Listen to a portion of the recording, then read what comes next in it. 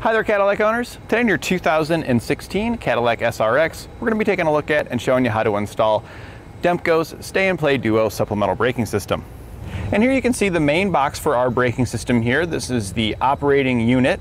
This is the device that's actually going to pressurize the cylinder that's on the pedal to activate it to pull the brakes. And it's also going to pull vacuum on our brake system here, so we'll also have power assist as well. That's gonna give us plenty of stopping power out of this box, and since the inside components has an inertia sensor in it, it allows it to be proportional, so that way the harder you stop in your motorhome, the harder this system's gonna stop so you can have it evenly matched to have nice smooth braking operation. That's going to allow you to stop safely, and it's also not gonna wear out any components prematurely. There's five main components you'll need when flat towing your vehicle behind your motorhome. You'll need your tow bar, which is the connection that will connect your motorhome to your vehicle. You'll need your safety cables, which is a supplemental connection in addition to your tow bar. You'll need your base plate, which is the connection point you'll attach your tow bar to on your vehicle.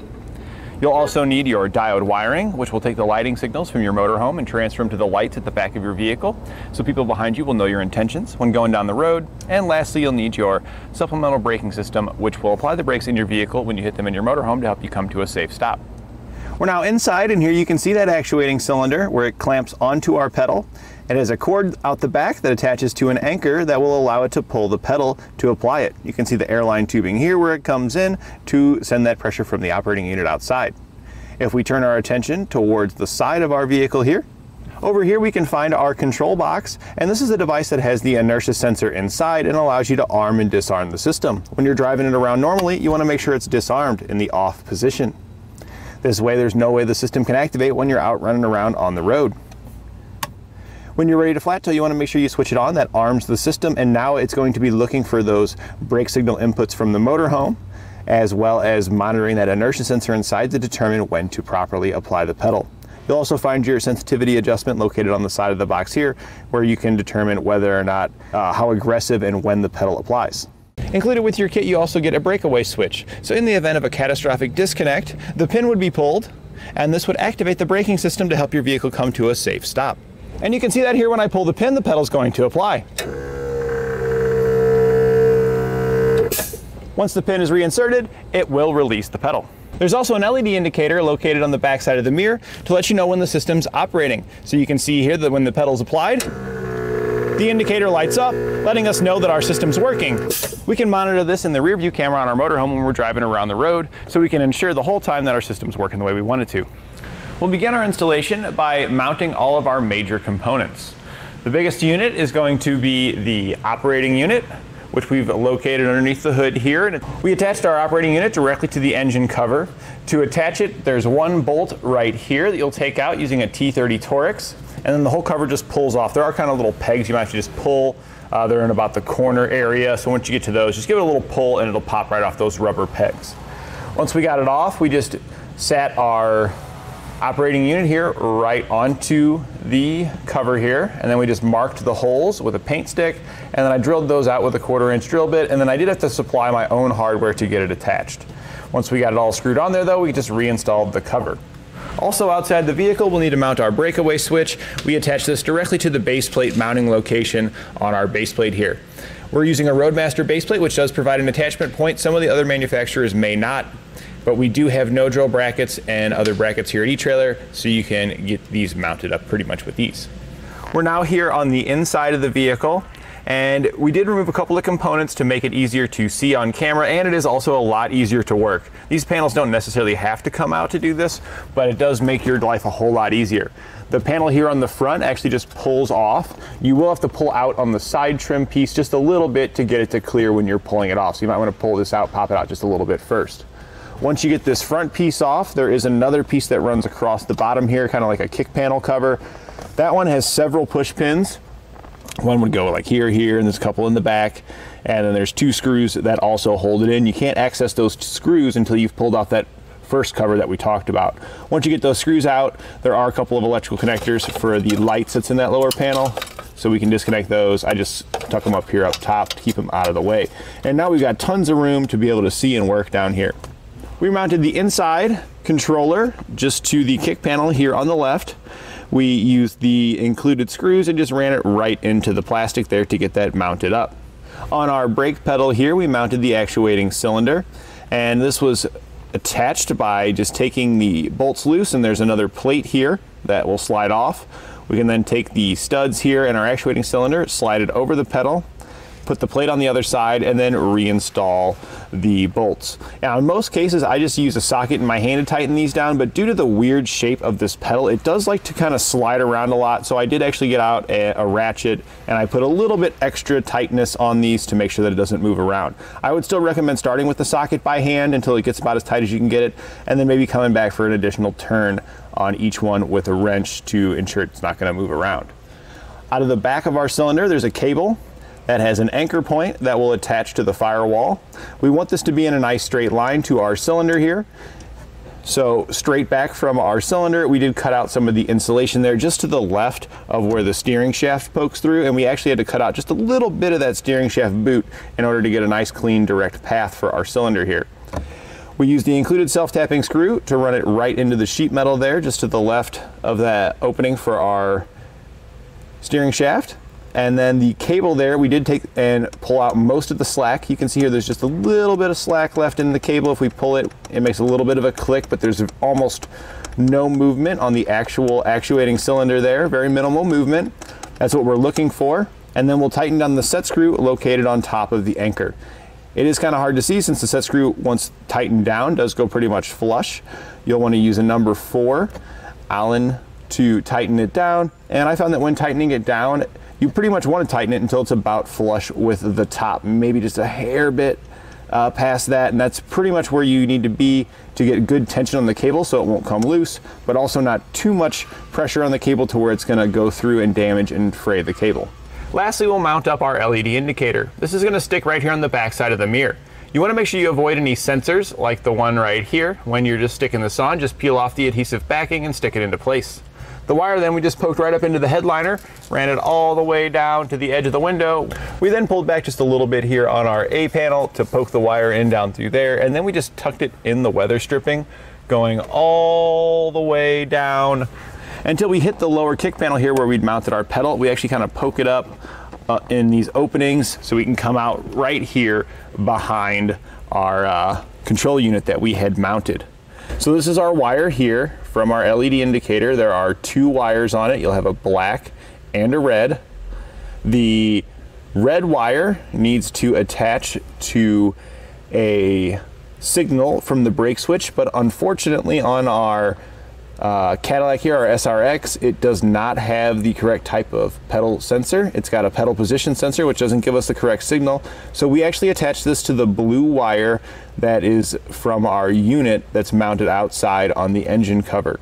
The reason we attach it to the blue wire from the unit outside is because the sensor on our pedal is not going to give us an appropriate signal. So if we attach it to that wire, we'll get a signal from the unit that will let us know when it's activating. That'll illuminate our LED so we know that it's working. The black wire is going to just get a ground source, which it gets from the black wire here off of our control unit. We do want to make sure we get ground from that black wire because it's only going to get ground when the system's activated. That way our LED is only going to work when we're using our braking system and not every time that we press the pedal or anything weird like that. So we just use the quick splice here to attach it there. I did use a small section of extra blue wire I had cut off from the unit outside just because it's a little bit thicker and easier to quick splice onto the wires than the tiny little ones that you see here coming from the LED. So now that we've got our LED and all of our main components attached, we need to start hooking everything together here. One of the components that we're going to use to help us do that is the airline tubing. It actually connects right here to the cylinder. So if you want, you can poke one end in there. And the rest we need to feed out into our engine compartment. And you can actually use this as a pull wire to help pull any of your wiring and stuff through that you need to. So we just taped our wires to this pull wire after connecting it to the cylinder here, and then we pulled it through the grommet located just above the electrical connectors and behind the module here on the lower left kick panel area. You will be able to see kind of the large grommet area. I took a drill bit and below all the wiring, I just put a small drill through there. You do want to be careful. You don't want to go too far to potentially hit any components. So just barely pass through it and then you can take a screwdriver or something and poke it through there to help clean it up and get your wires passed through. A little bit of soap and water can help slide through there easier as well. Our wires then, we pulled up here. This is our airline tubing here. I did wrap it in some conduit here just to help protect our wires. But all of our wires are going to be passing through from the unit inside. So what's going to be passing through, you're going to have a yellow, a green, a white.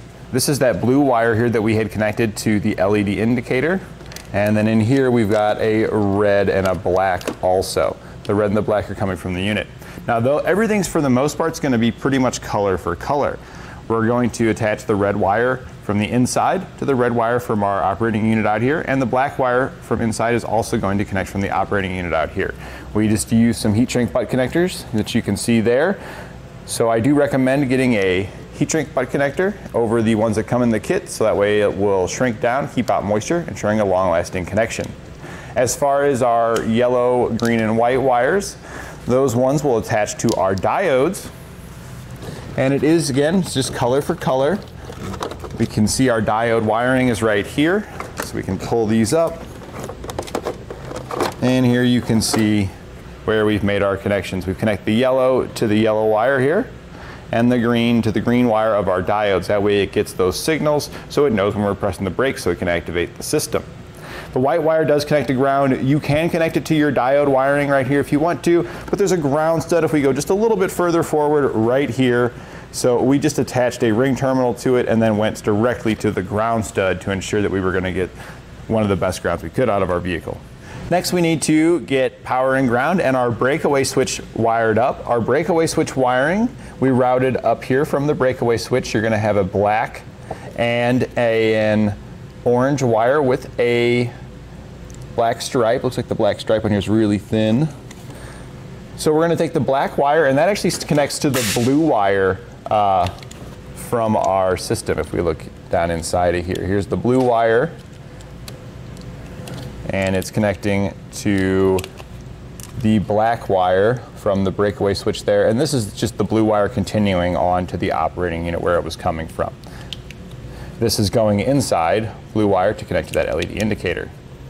The orange wire here needs to connect to a power source, and so does the brown wire coming from our control unit.